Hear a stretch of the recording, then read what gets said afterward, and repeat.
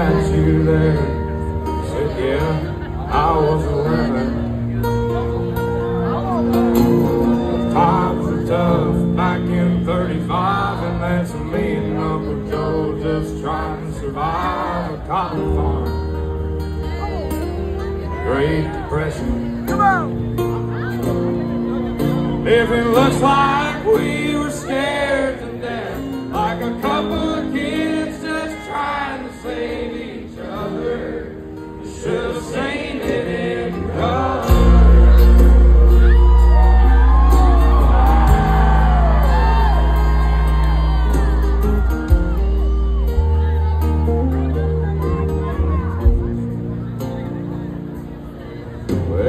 doesn't hear who's taking sea In the middle of hell, 1943, in the wintertime. You can almost see my breath.